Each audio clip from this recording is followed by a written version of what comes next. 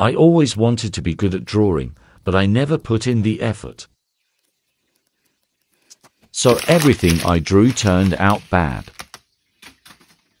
That's when I challenged myself to draw all 151 first generation Pokemon. So for the next 151 days, I will draw one Pokemon every day starting tomorrow.